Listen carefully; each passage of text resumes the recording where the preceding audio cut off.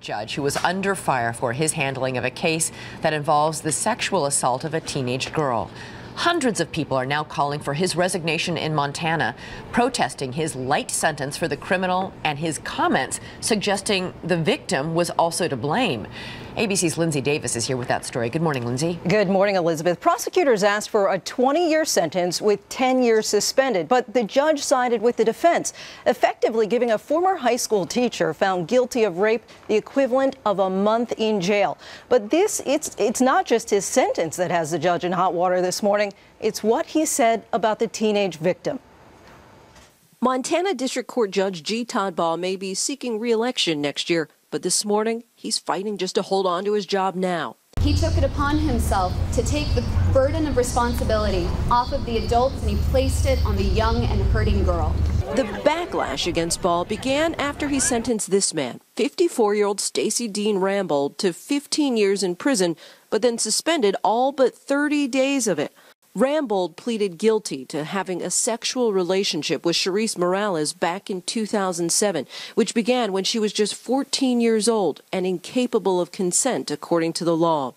A few weeks shy of her 17th birthday, while waiting for the case to go to trial, she committed suicide. What do we want? Justice! But it's not just what some see as a light sentence that's angered the community, but what the judge said as he issued it. I was shocked.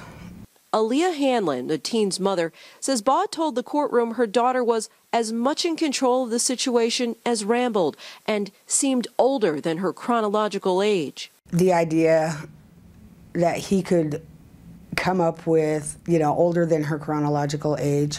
14's 14. This week, the judge apologized.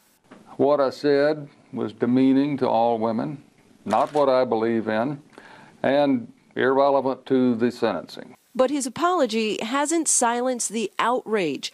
Online, more than 36,000 people have signed a petition demanding Baugh's resignation. 30 days for the rape of a 14 year old by a 49 year old teacher is not only not appropriate, it's a joke.